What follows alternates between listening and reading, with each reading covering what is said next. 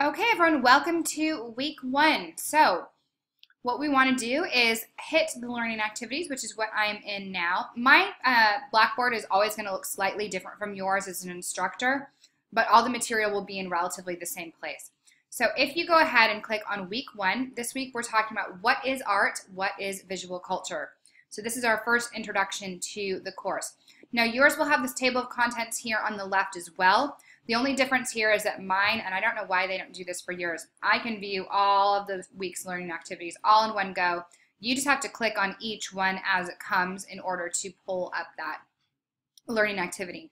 And I'm sure most of you are familiar with this. I just like to go over that in case we have students who are new to OPS. And I only do that during week one, hopefully. Okay. So each week I'm going to post an agenda, like I've said, noting all the assignments, materials, or any changes to the week's activities. Uh, and I will also post a, a video agenda, which is what I'm recording right now. And these are really important because often I'll give hints or important information or just go into things in a little more detail. Uh, so I really do expect that you watch them. I, every session that I teach, I will get students sending me an email of something that I went over in detail in the video and I will just say, hey, did you watch the video? So make sure that you do that. It will save both of us time there. So week one, we have our, uh, we're going to read, we're going to view, we're going to reflect, we're going to create, and we're going to review. And I try and follow that format each week. Sometimes we'll have write in there as well. Usually you'll have either write or create uh, that you'll be working on. So our first week's reading activity that we're going to be doing uh, we're going to start in that looking at art text. The looking at art textbook is really more of an overview. It's, it's a text that I use for the art appreciation class as well. And I like this because since our class has no prereqs, and I can't expect that any of you know anything about art, and yet we're an upper division course, uh, this text really helps us to kind of uh, get those basic ideas down to broaden our vocabulary, and that's really what we're going to be working on this week, kind of just thinking about this whole idea is what is art after all? It's kind of this big autonomous word uh, that has a lot of meaning attached to it. It can be a very hot topic to debate. And so we're going to start to deal with that a little bit. You're also going to be reading in your visual culture text just the intro, pages 1 through 8, and uh, then chapters 1, chapter 1, pages 1 through 34. So the looking at art text, really quick read. I know you think, oh my gosh, this is so much reading. There's a lot of pictures. It's big text. It will be really quickly quick to get through. I always recommend reading that looking at art first each week and then dive into the visual culture, which is a, a more intense text. And yes, uh, it's, it can be a hard text at times. Sometimes I have students say, gosh, this is a really hard book for this type of class. But you know what? We shouldn't be afraid of dealing with hard material. If you don't feel like you understand everything, that's okay. I'm completely fine with that. Ask me questions. And what I do for that text, not for the looking at art text, but for that text, I try to give you a little bit of an outline each week of what I would want you to look for and just ideas to kind of be watching for as you read that. So you may want to read through these first. So it's going to talk about what is a visual text, uh, that the concept that a visual text, visual texts are read with the same rigor as written text, that we have to learn to understand this whole language of the visual world, that symbolism is really important, that these are cues that tell us how to behave uh, and or how not to behave uh, in society. And so they're really important, these visual cues. So we need to be able to uh, read as well as write visually. Uh, we need to think about why we need to be able to be visually literate. That if we uh, if we don't understand the images and symbols that are in our culture, then we're basically uh, at the mercy of those who create it. So pictures can take over where words are not enough. You know, the proof is in the pictures, all this idea. Visual literacy is an active pursuit. It's not something that you just learn once and know forever. You have, because we know that visual culture is continuously evolving and changing. And with technology, it's very rapid now. So we have to kind of continue to understand how to read these texts if we want to be uh, valuable members of society and active members of society. So we need to ask ourselves as well, should we, be reading differently? Do we need to sometimes change our perspective to understand things more fully or more clearly? Uh, the printed word is a relatively new phenomenon, right? So images have been around for thousands and thousands of years. And so this is obviously a very important way in which we communicate. So in chapter one, it's going to talk about this idea of content. What is content? And it's going to talk about how we look. So it's going to give you an example of a portrait versus a landscape versus religious art. So how sometimes you have to change the tools you use or the, your mindset of how to understand these different types of images because they have different values in society as well. And those values tend to shift and change uh, throughout history. So always be looking for what is not shown as well as what is shown when you're looking at images. It's going to talk about that. I've given you a YouTube clip about the Arnolfini wedding portrait, which is an image that it talks about in that text. So I try to give you other activities. If you're having trouble understanding how what they're saying, then maybe you know watching a little clip and uh, hearing people talk about it will help that uh, help you to understand that. So uh, we definitely want to talk and listen and pay attention to this idea of this guy Erwin Panofsky and what he said about this idea of iconology. And this starts on page 24. So Panofsky has three levels of interpreting this whole concept of iconology. And it's the primary or natural, the secondary or conventional, the third or intrinsic. And so because this is a really important concept that's present in chapter one, we're actually uh, going to be writing a section of our theory application paper about Erwin Panofsky. I've given you a little lecture video, and I believe it's only around 20, between 20 and 30 minutes. Let's see exactly. Oh, oh no, this one's only 10 minutes. That's right. This is a shorter one. So 10 minute clip that I'd like you to watch. It's going to go over Panofsky in more detail and give you an example. I actually walk through uh, his three levels with uh, one artwork, which is what you're going to be doing. So that's our material for this week. Uh, you also have an extra lecture this week. And I know this is, is a lot of material to get through during week one, but again, this is about giving you that kind of foundation stone of uh, a cornerstone of, of art and this word art. And this is a really interesting little lecture. You may not agree with everything he says. You may not agree with everything you read in the text. I encourage you not to and to kind of engage with why you may or may not agree with what is being said here.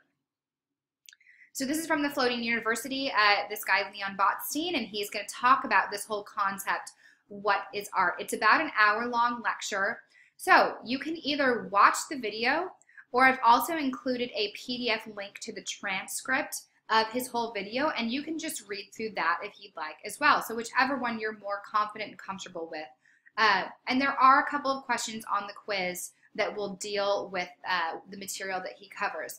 But again, this is going to be about opening our eyes, kind of broadening our perspective, making us think about this whole concept of what, what is art, this very big question. So, your first journal that you're going to be doing is, again, following this guideline. I need to stop saying again. I'm saying that over and over again. Ooh, goodness. What is art to you? Uh, what is your experience with it thus far in your life? Do you love it? Do you hate it? Uh, I want to know where you're at, where you, what you feel about art. Maybe you're someone who hasn't really engaged much with it. Maybe you've taken a lot of classes before. Maybe you're majoring in art. That helps me kind of know where the class is. It's kind of a litmus test for the whole class for me to be able to tell, okay, these are things I might need to walk through a little more slowly. These are uh, places where we may have some really interesting debates going on uh, or this is an area where I know that we're going to excel in. So this is an important one. Again, journals are very informal, so they should uh, be the equivalent of about one page double space, 12 point font. So what I encourage you to do is to open a Word document or Pages if you use a MacBook like I do, and I don't use the Microsoft Suite. Uh, pull up a page, write one full page, double space, 12 point font, and then what you're going to do is you're just going to copy and paste it right here. So when you hit the journal button, it's going to have, this is going to pop up that will have your prompt again. Hit create journal entry. Give it a title. What is art? Um, whatever you want it to be titled. And then just copy and paste your entry right in here. Sometimes the formatting gets a little bit messed up. That's okay. Don't worry about that so much. Uh, and then you can just hit post entry. You do not need to attach a file. Ignore this section. And the reason is because it's much easier for me to grade these if they're just right there in the journal. And then when you want to go back and read them, you don't have to re-download that assignment.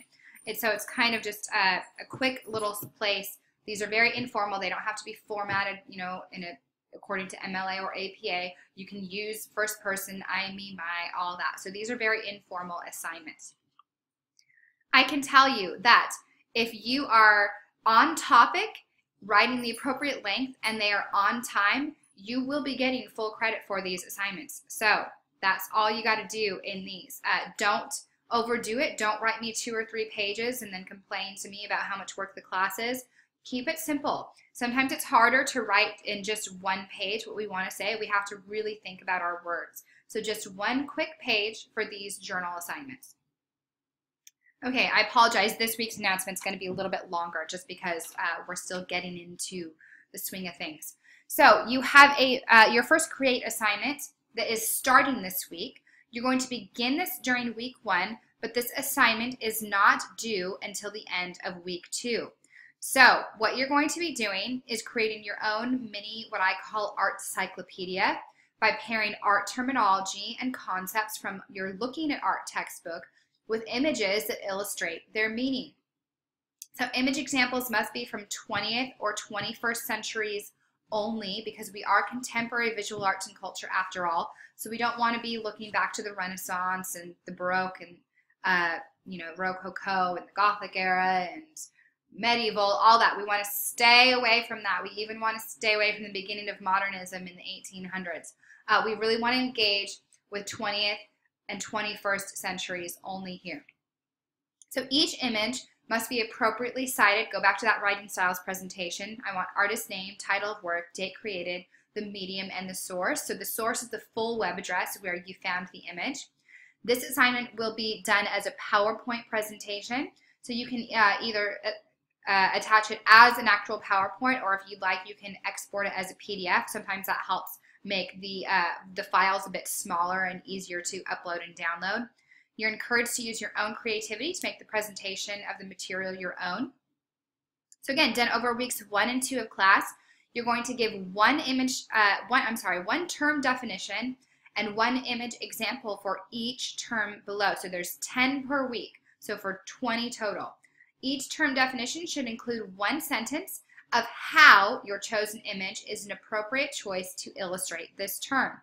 Don't skip this part. Often students do. Uh, you won't get full credit if you skip this part. So I'm going to show you an example below in just a second.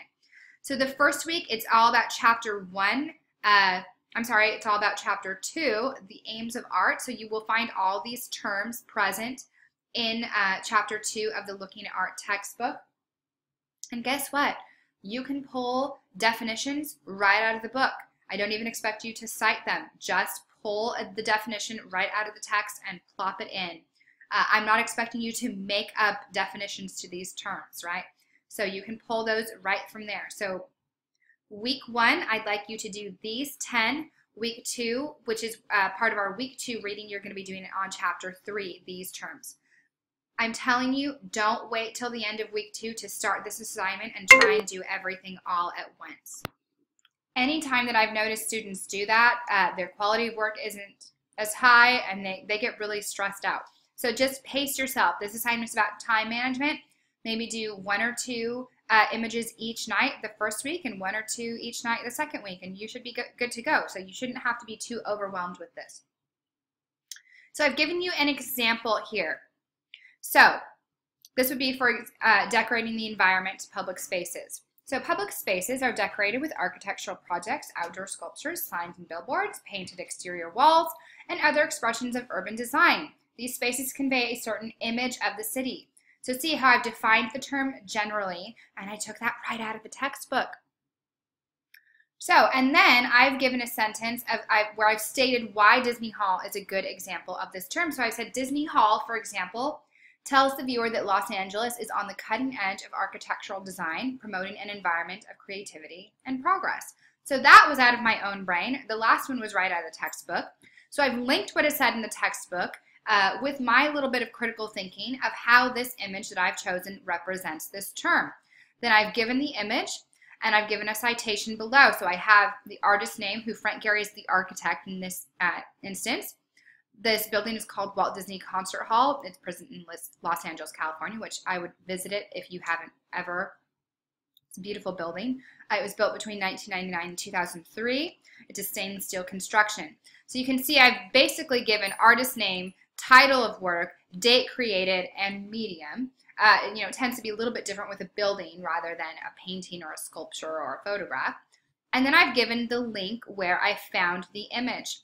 So this assignment is due at the end of week two. Don't forget that. Don't freak out and think that it's due now. But this is how I expect each slide to be formatted.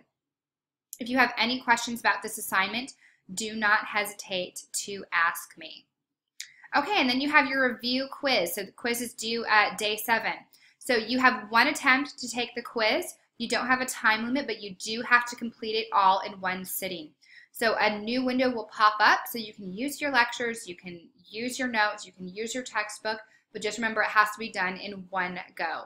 So quiz due Sunday at midnight. Your uh, mini art cyclopedia is not due until week two.